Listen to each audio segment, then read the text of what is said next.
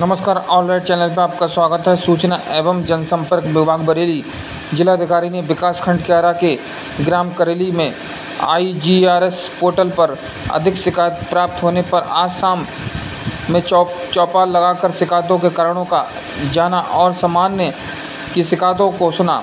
संबंधित अधिकारियों को जन शिकायतों का गुणवत्तापूर्ण व यथाशीघ्र निस्तारण करने के दिए निर्देश ग्राम करेली को जल्द मिलेगी। लाइब्रेरी जिलाधिकारी ने किया वादा।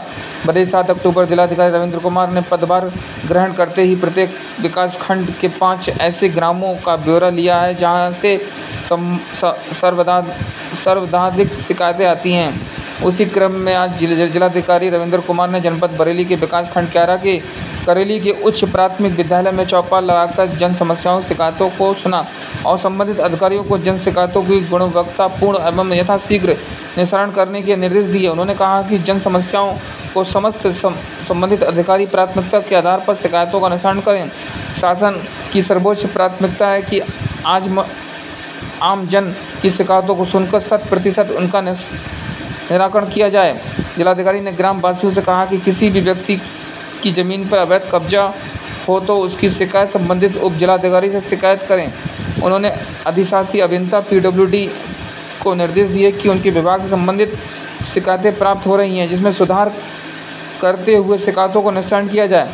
जिलाधिकारी ने ग्राम वासियों से गाँव में हुए अब तक के विकास कार्यों के विषय में जानकारी ली, जिस पर ग्राम वासियों ने बताया कि प्रदेश सरकार द्वारा संचालित विभिन्न योजनाओं का लाभ मिल रहा है। उन्होंने उप जिलाधिकारी सदर को निर्देश दिए कि मनरेगा द्वारा ग्राम पंचायतों में गौशाला बनवाई जाए।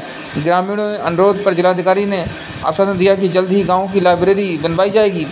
निरीक्षण के समय उप जिलाधिकारी सदर रत्नकार श्रीवास्तव, जिला पूर्ति अधिकारी नीरज, जिला पंचायत राज अधिकारी धर्मेंद्र कुमार, तहसील सदर ग्रामवासी समेत सहित संबंधित अधिकारीगण उपस्थित रहे बरेली से अवधेश शर्मा की रिपोर्ट